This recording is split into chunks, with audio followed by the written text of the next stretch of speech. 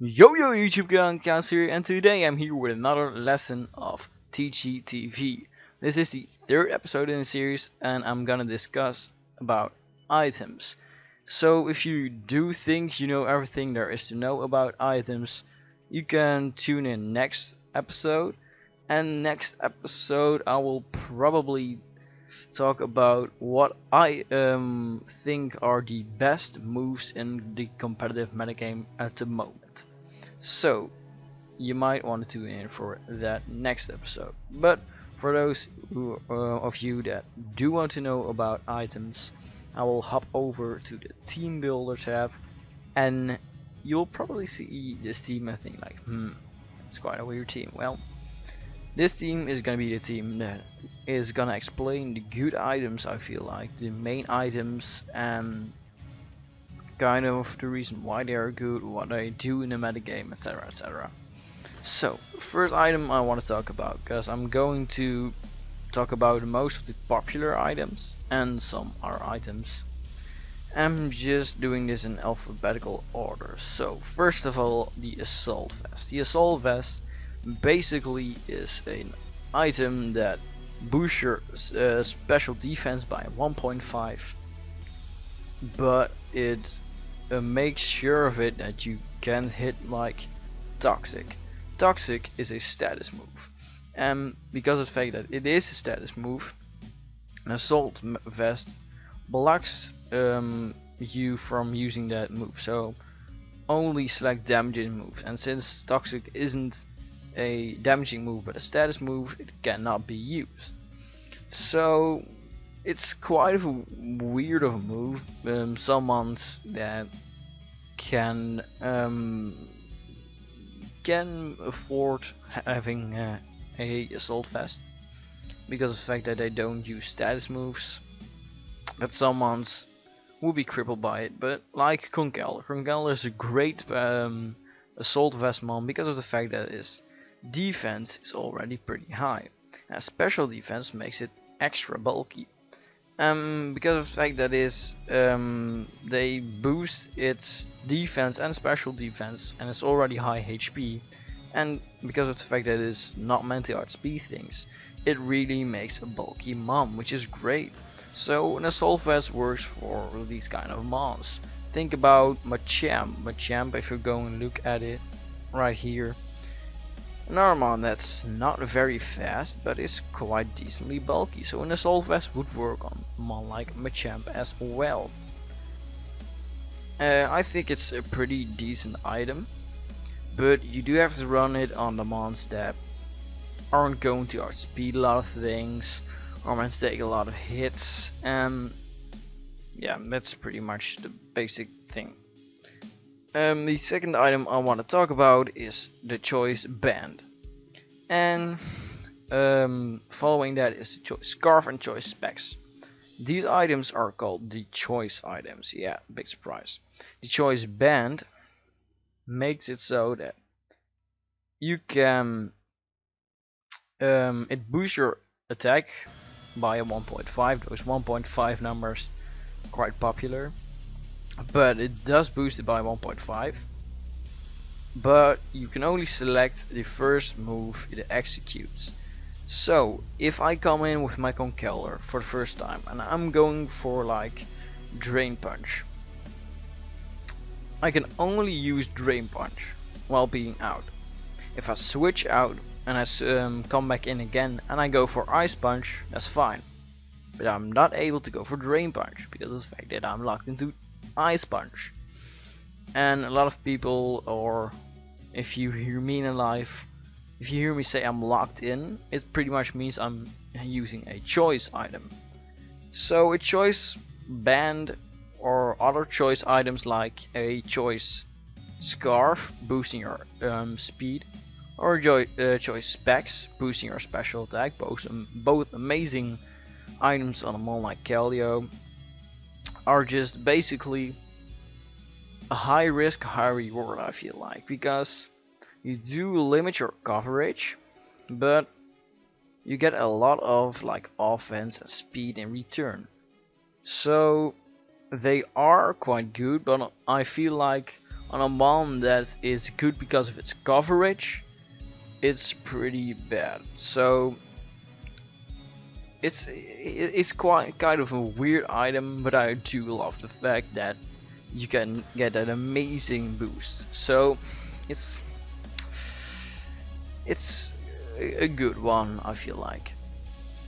Um, the fourth item I want to talk, fifth item, excuse me, I want to talk about is the Eviolite. And again, that 1.5 boost, but this time, if a Pokemon is able to evolve one more time, like Chansey, because Chansey can evolve into Blissey, you can, um, the item Eviolite works on you boosting your defense by 1.5 and your special defense by 1.5. And this makes some bulky um, unevolved mons like Chansey is a great example.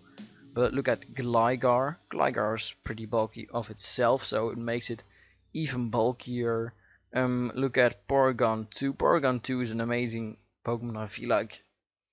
And they get a lot of bulk, so it's pretty nice for those mons.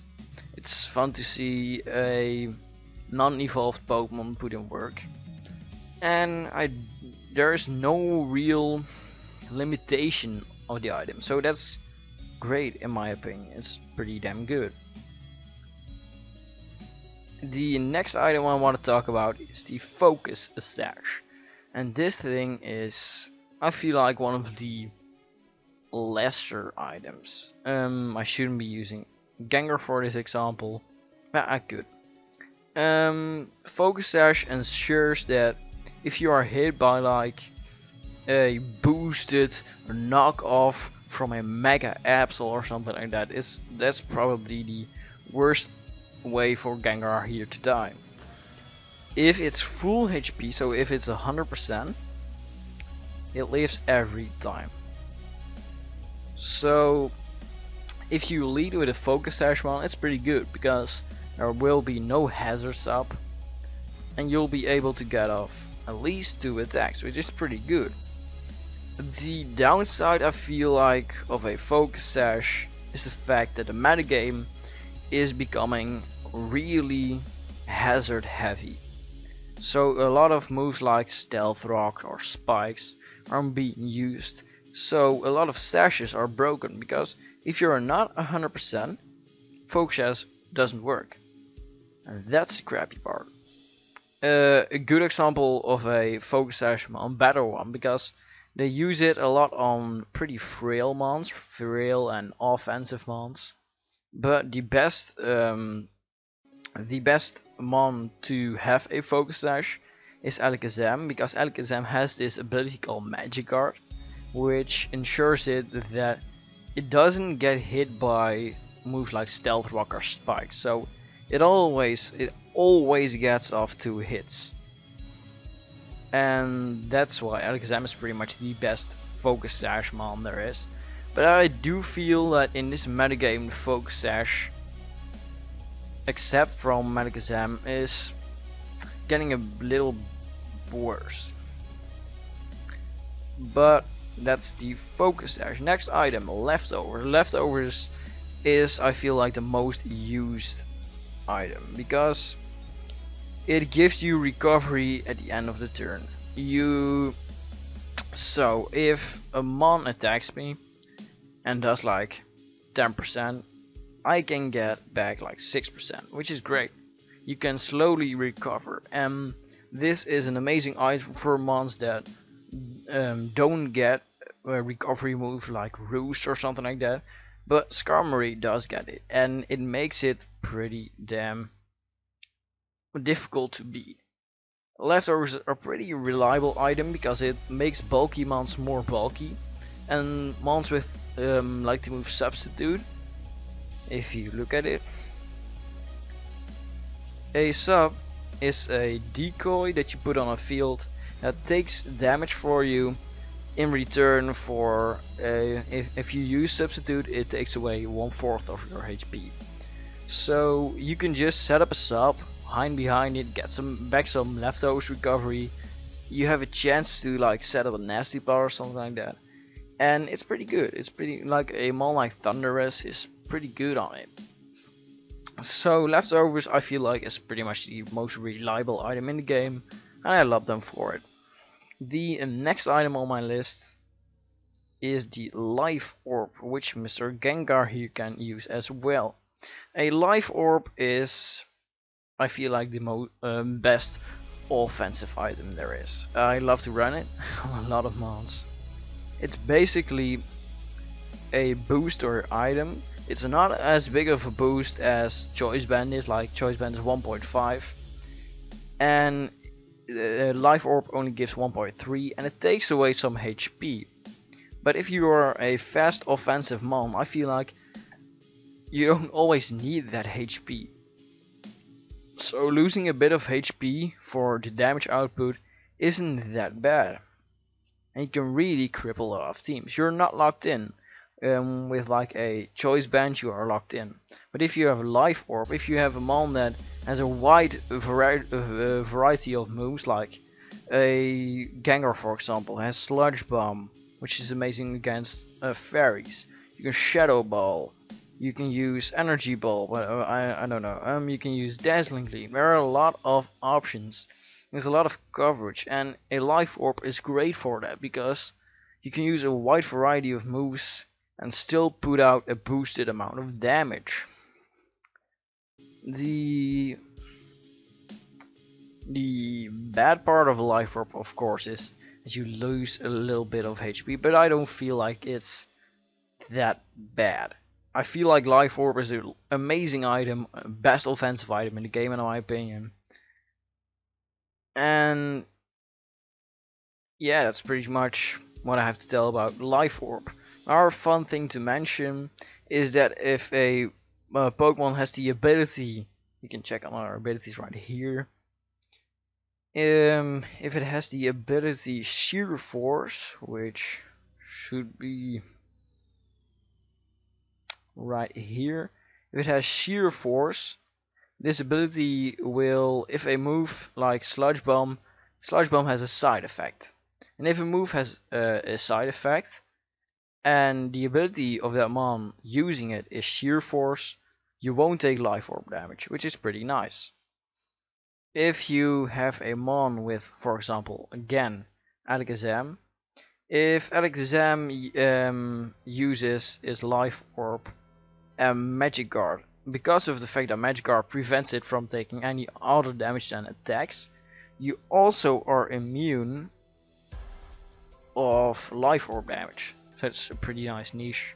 But I feel like a Focus Sash Alakazam is still better. And that's pretty much all I have to say about the Life Orb. Next is the Lum Berry.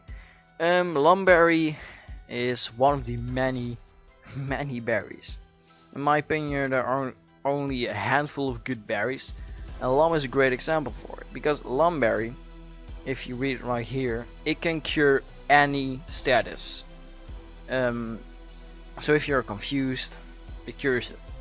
If you're burned, it cures it. If you're paralyzed, it cures it. And it makes it very good for like setup sweepers like Haxorus with like a, a Dragon Dance. Like if you set up a Dragon Dance, which your opponent goes for like Will-O-Wisp to burn you so you your boost in attack is useless. Or if you go for um, if he goes for Thunder Wave to cripple you in speed. You can get um, that status removed by the Lum Berry and you still have your fully boosted stats right there. Which is an amazing, just an amazing fact. So Lum Berry is pretty cool. It's, in my opinion, only good on setup mons. Yeah, that's uh, pretty much all I have to say on the Lum Berry. Next item is, I'm gonna skip over these ones because they are very situational um, the Rocky Helmet and Skarmory is not a mon that can use it very well. If a user, if the opponent uses like contact move, so for example a tackle, I talked about this in a past episode like Iron Head. If it's um, moves like that and that have that red star thingy, those are contact moves. And if the move uses uh, has a contact with the user, it gets hurt by 1.6 and if you have a, a mon using it with like roost or something like that, so you can recover off um, the damage that your opponent is dishing out, but your opponent is losing damage at the same time, which is pretty nice. But the best Rocky Helmet user in this metagame is probably like Garchomp. It's got the fact that if it runs Rocky Helmet and his ability Rough Skin, which basically does the same thing but loses a little bit less of HP. But every time your opponent goes for a physical move, it loses 1.6 of the Rocky Helmet and 1.8 of the Rough Skin, which is pretty nice. So Rocky Helmet is a, I feel like a decent item. It only works on like a handful of models like Landorus, T, Garchomp, Skarmory, but it's a pretty decent item in the end. So those are pretty much the um, main items I feel like. There is still an item just wait called the Sitrus Berry. You might know it from in-game. But I feel like the Sitrus Berry is only good on really really low amount of Pokemon. So if you use like Sitrus Berry on an Azumarill, you can go for Belly Drum with an Azumarill. And Belly Drum basically loses half your HP and if um, your HP number is even, so for example this, if this would be your Azumarill, you lose exactly 50%, and at 50% you would get back a Sitrus Berry and recover one fourth of your HP. So you get back to like 75%, uh, which is pretty decent. So Sitrus Berry is de pretty decent if you use a move like Belly Drum or Substitute, but otherwise just don't run a Sitrus Berry. I do want to point out um, some of the items in the section below um, here. Not all of them are good, but I do want to point out some some of them. Black Sludge is one of them. Black Sludge is like a leftovers. So uh, I already talked about leftovers, so regaining HP, but it's for poison types only. So if your opponent tries to steal your item or something, and it's not a poison type, it loses HP, which is pretty fun. So if you're a poison type, always use Black Sludge over leftovers. That's my opinion. Um, some other items I want to talk about are yeah um these items you might know from in-game. I gotta pick out a good one. Yeah, why not? Uh, Mystic Water. You might know Mystic Water as one of those items that boost like water type moves. You have a lot of them. You also have like Charcoal which boosts fire type moves. You have a Miracle Seed. Mirror. Miracle Seed which boosts grass type moves as well which is a pretty good fact. So if you only have like a move of one type, it's pretty decent, but the fun fact is that, for example, I knock out a Pokemon with my Keldeo using like a Scald, and they think, hmm, that damage output is a little too much for a like a Scarf Keldeo, and it, do it did outspeed my Pokemon, they might think it's either Specs or Scarf, which you can bluff an item, which is pretty nice. Uh, another cool fact uh, about it is that you don't exactly have to run Life Orb, so you don't have to sacrifice that HP stat what I was talking about. But you do only get it on one type and it's less of a boost. Uh, you also have the Expert Belt, which is only a 1.2 boost as well and it's only a boost if it's super effective which like a if a move have uh, has a wide variety of, of typings in it an expert belt might work like Gengar like I showed you just a couple of minutes ago because its move pool is pretty big it might be decent but I still recommend the life orb over the expert belt and the only thing I have to suggest right yeah the plates if you look like Pixie Plate for example is for fairy type moves The plates is pretty much a like a mystic water. The the mystic water also has like a plate called a splash plate. It doesn't really matter which one you use, but if you want to use an Arceus of a certain type, you use those blades to turn in that type.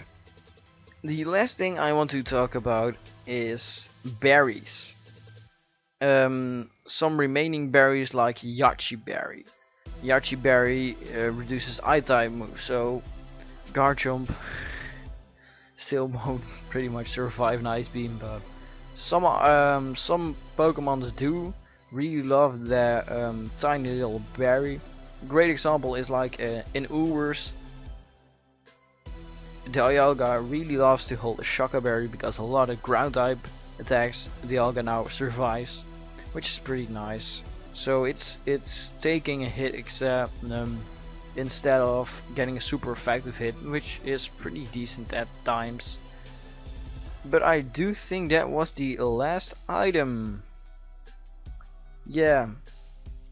Looking at it, I'm not seeing other item items except of course I I almost forgot mega items. Mega items are only a handful of items or mega uh, Pokemon and if you want to have like a Mega Gengar you should give it, it its Mega Stone just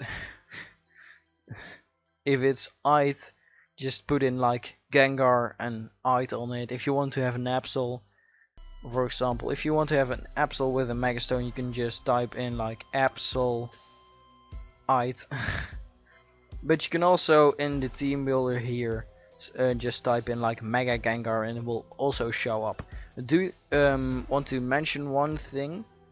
A lot of the megas are um, like a mega form like, like Mega Gengar is a, in a higher tier than normal Gengar. For example it's an Uber.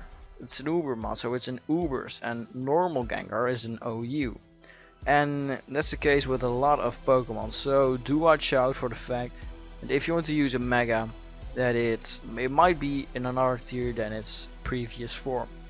But those are all the items I wanted to talk about. If you do want to know what another item does just type it in the comment section below just ask it because I can explain it pretty good I feel like or just ask it on Twitter because I'm online there as well and I will see you guys in the next episode of Teachy TV.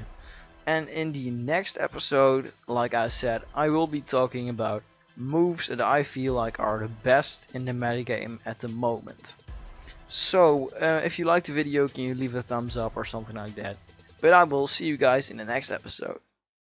Peace. But this speed does allow me to outspeed Timid Whimsicott. And the reason that why I wanted to outspeed um, Timid Whimsicott is because Whimsicott cannot revenge kill me when Sticky is up I can revenge kill it so it's pretty darn nice so the next thing I wanted was a sticky web setter